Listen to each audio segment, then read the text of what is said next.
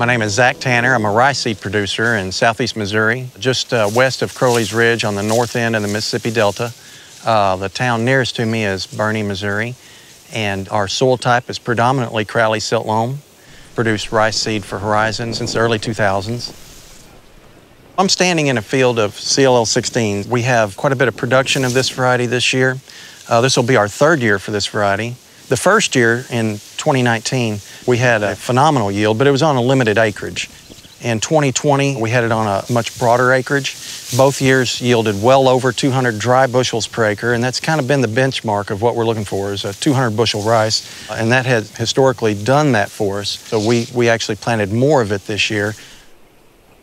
This field I'm standing in is furrow irrigated. We have some of this variety that is paddy rice. When we're looking for a good candidate for furrow irrigated varieties, we're looking for early vigor and blast tolerance, and this variety has both. And it looks like the proof will be in the yield, and time will tell, but looks like an excellent candidate for furrow irrigated rice. This field of CLL16 was planted around April 10th and planted at around 55 pounds an acre.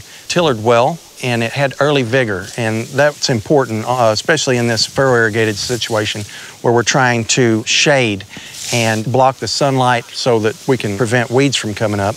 Along with the early vigor comes some sheath blight resistance. We didn't have any issues with that. Along with tillering well, the variety makes a good panicle. Historically, we've averaged over 200 dry bushels an acre so sometimes people ask me, what would I do? What would I plant? And how would I manage a furrow irrigated rice? And this field of Horizon Ag's CLL 16 was planted at around 55 pounds an acre. And we put out a pre-plant blend according to what the uh, soil test suggests. And then on our nitrogen, we tend to follow a modified version of Arkansas's recommendations. At flood up, or when we start watering our furrow irrigated rice, we'll apply 200 pounds of urea and then 21 days later, I apply 100 pounds of urea. And then on the 28th day after the original 200 pounds, I apply 50 pounds of urea. Insofar as herbicide, it's important to me to include NewPath with my command, especially in a furrow-irrigated situation because uh, NewPath provides an excellent base for your grass control, or it, it certainly helps.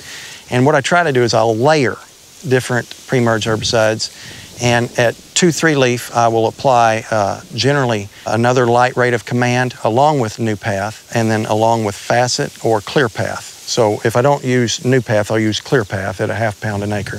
And then at flood up, whenever I start putting water on this rice, I'll use different things, but as a general rule, I'll use propanil, NewPath again, and then uh, Prowl.